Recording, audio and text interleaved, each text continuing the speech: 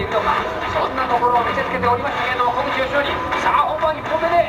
まだきっちり決めてくるかもだ握るかどうかギリギリアウトギリギリアウトから頭を打って頭を打って頭を打ってスピードが十分になりましたなんとか最後は